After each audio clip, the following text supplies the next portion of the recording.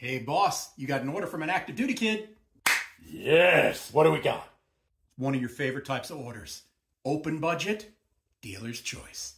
I'm liking it. Specs. He wants something sleek and sassy, something he can use every day, but it'll also stand up to the hardest rigors that he should have to endure. Still liking it. Who am I making it for? Marine, Army, Navy, Air Force. Air Force, Air Force.